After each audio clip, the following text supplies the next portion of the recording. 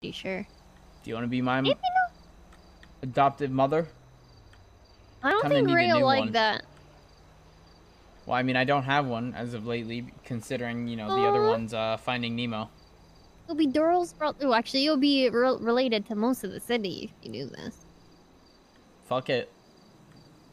okay, sure. All right, signed, sealed, delivered. Hold on, I have the Signed, paperwork sealed, in my delivered. briefcase. Wait, I don't fill out paperwork. Hold on, just give me a sec.